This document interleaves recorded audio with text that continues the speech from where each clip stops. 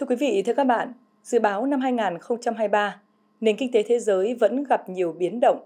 Hiện tượng suy thoái kinh tế manh nha xuất hiện kể từ các tháng cuối năm 2022, kéo dài đến nay, đã ảnh hưởng trực tiếp đến nền kinh tế nước ta. Từ những nhận định trên, cũng như nhiều ngành kinh tế khác, ngành phân bón Việt Nam xác định để hoàn thành các mục tiêu năm 2023, ngành sẽ triển khai gia tăng kinh doanh sản phẩm trên các sàn thương mại điện tử, chủ động tìm kiếm nguồn nguyên liệu chất lượng, đẩy mạnh công tác xúc tiến thương mại kết hợp với kinh doanh các sản phẩm chủ lực tại thị trường nội địa.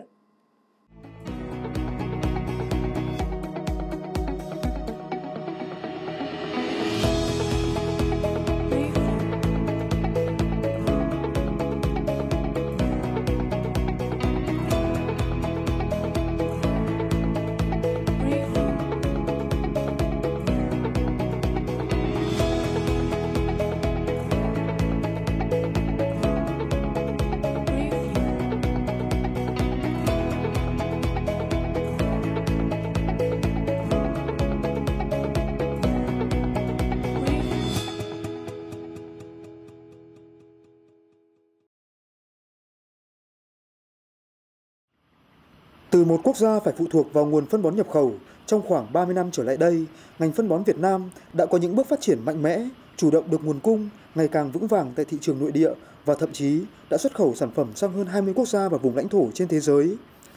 Đến nay, về cơ bản, Việt Nam đã đáp ứng được nhu cầu trong nước các sản phẩm phân bón phổ biến như đạm, lân, NPK, DAP.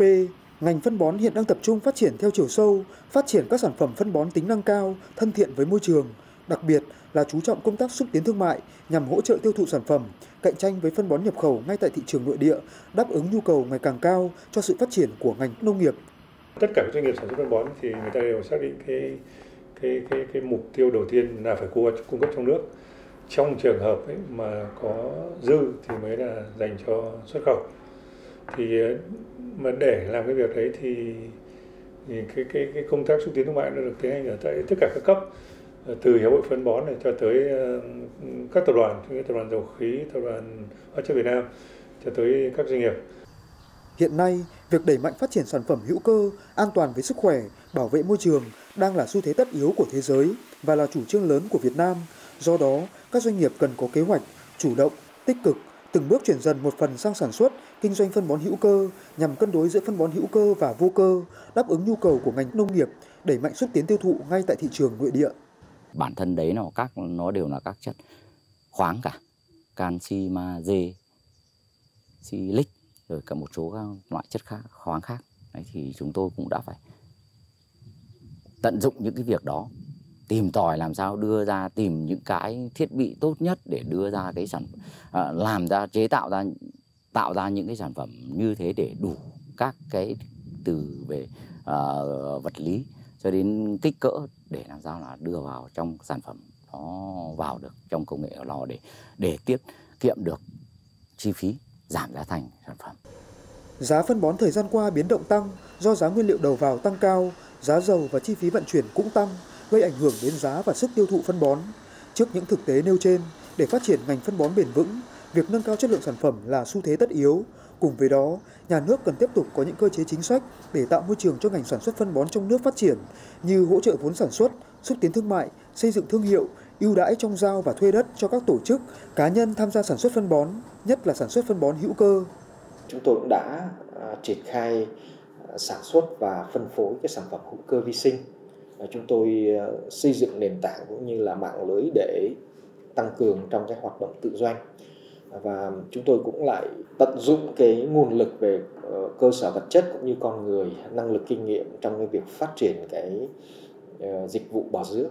và hơn nữa chúng tôi hướng đến tương lai xa hơn trong cái việc là hình thành và cung cấp những cái dịch vụ liên quan đến ờ, canh tác nông nghiệp công nghệ cao có thể khẳng định rằng, cuộc cách mạng công nghiệp 4.0 đã và đang đem lại nhiều nền tảng công nghệ cho doanh nghiệp trong sản xuất phân bón, góp phần cho sự phát triển của ngành này trong việc nâng cao chất lượng sản phẩm, tạo ra các sản phẩm có chất lượng cao, giá thành hợp lý, đảm bảo yêu cầu cung cấp đủ phân bón cho nông dân. Công tác xúc tiến thương mại, quảng bá sản phẩm, tiến tới những công nghệ then chốt, tạo động lực phát triển cho ngành, đồng thời nâng cao trình độ khoa học kỹ thuật, đáp ứng nhu cầu về công nghệ tiên tiến khi tiếp nhận đầu tư nước ngoài cũng được các doanh nghiệp Việt Nam chú trọng. Công ty chúng tôi đã sản xuất ra những sản phẩm phân bón chất lượng cao như DAP 64% đạt theo tiêu chuẩn quốc tế, MAP 60% cũng đạt theo tiêu chuẩn quốc tế. Ngoài ra chúng tôi còn sản xuất được những dòng phân lân chất lượng cao như Super lân dầu, hàm lượng lên đến um, 30%,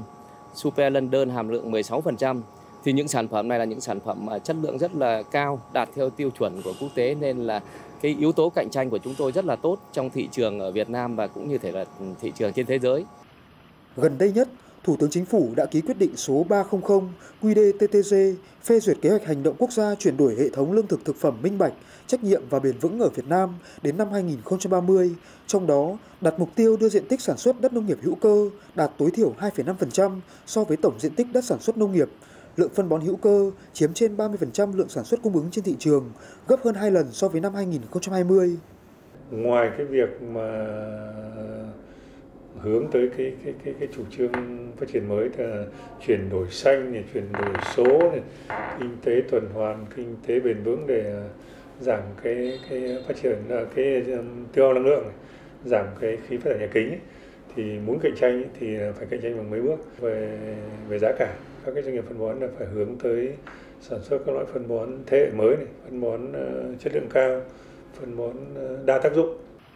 để khai thác hơn nữa tiềm năng từ hệ thống phân phối hiện hữu, phân bón Việt Nam đã và đang tăng cường áp dụng công nghệ thông tin, phục vụ công tác xúc tiến thương mại ngành hàng, quản trị bán hàng, chuỗi cung ứng, phân phối toàn quốc. Doanh nghiệp ngành phân bón Việt Nam sẽ tăng cường áp dụng và triển khai dự án công nghệ thông tin lớn như hệ thống quản trị ERP, Big Data, DMS, CMS, hướng tới mục tiêu chiếm lợi thế và duy trì lợi thế cạnh tranh với các đối thủ nước ngoài chiếm lĩnh thị trường trong nước.